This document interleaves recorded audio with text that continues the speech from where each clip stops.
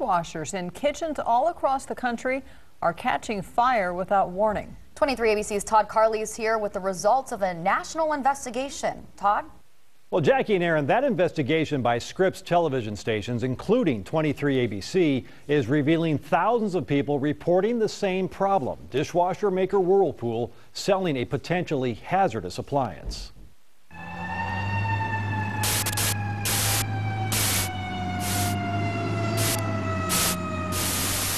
It can lie dormant in the heart of your kitchen. It's dangerous, and it could it it could potentially kill people. Catherine Wood's dishwasher went from dormant to dangerous in her Southwest Bakersfield home, as she explained while standing next to her new dishwasher. We were watching television, the whole family, and we smelled something kind of funny, and we heard some noises. It was a like a electrical bzzz noise. As we tracked this story across the country, a theme began to emerge. That burning smell was not unique to Wood's Kitchen. They smelled it in Detroit. We looked over and smoke was coming out and we smelled a plastic burning smell. They smelled it in Cincinnati. Strong electrical smell and it filled the whole downstairs with smoke. They smelled it in Baltimore. And smelled some plastic burning. Wood says she knows what caused her fire. So it was definitely a circuit board issue. Just like most of the others. Yeah.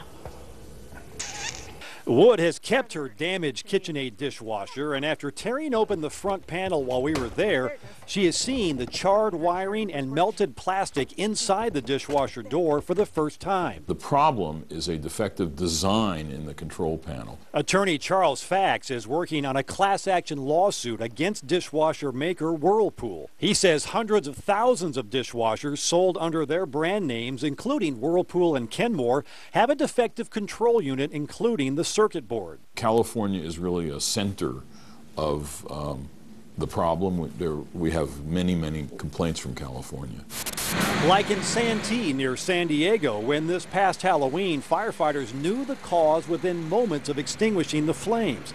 While the cats in the home escaped safely, the dishwasher didn't. The cause of the fire uh, was isolated to the dishwasher. A lot of times I'll set the delay switch and, you know, go to bed or turn it on before I go to bed or you turn it on before you leave the house. And Fire investigation reports we obtained can't prove a pattern, but they do show there is a potential problem with some dishwashers around the country. The federal government knows there's a problem. Between March and November of 2011, the Consumer Product Safety Commission logged more than 260 dishwasher incidents on its public website, saferproducts.gov. Of those, more than half reported smoke or flames. Sometimes Wood's children will start the dishwasher when she isn't home. if I hadn't been sitting here, it, w- it, the, the what ifs scare me almost worse than the actual, you know, what happened. That online forum publicized a few hundred potential disasters, but our investigation found more than 1,600 complaints that are not published by the CPSC. The reports are only made public when requested, so we requested them. In five years' worth of internal data, 80% of the time consumers reported a fire. A representative came out to the home, interviewed me for a couple hours, asking me lots of questions. We have questions for the CPSC too about what brands are mentioned in those cases. But the CPSC won't tell us until it gets permission from the companies involved. We've been waiting for six weeks. While the government isn't pointing any fingers at any brand, consumers like Wood are. She and others have posted on blogs like KitchenAidFire.com. Those posts show people like Wood aren't alone. It just could have been. I, I just can't even go there. It just, Yeah. KitchenAid needs to take responsibility for their circuit boards.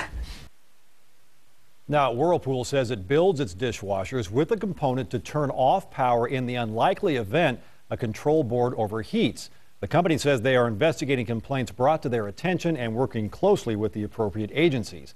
Now, GE says product safety is a fundamental commitment and that all GE dishwashers meet third party industry safety requirements, and that GE investigates reported safety issues and initiates corrective action when it is appropriate.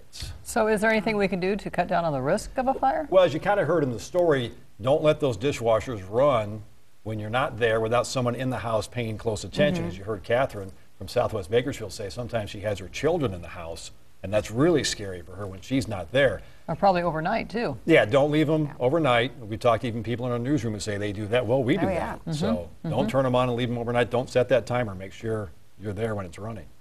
All right, and uh, there's also material on our website, turn to23.com, that can help you determine if your dishwasher is safe or dangerous. Yeah, we uh, mentioned there are a lot of testimonials across the country. You can see here our graphic. You can go on our website, Turn to 23, and hear from other people across the country who have had the same problem and facing that same issue. There's a lot of information there, including links to databases and company statements. You'll find it all on our website, turn to23.com. All right, very interesting. All right, Todd, thanks.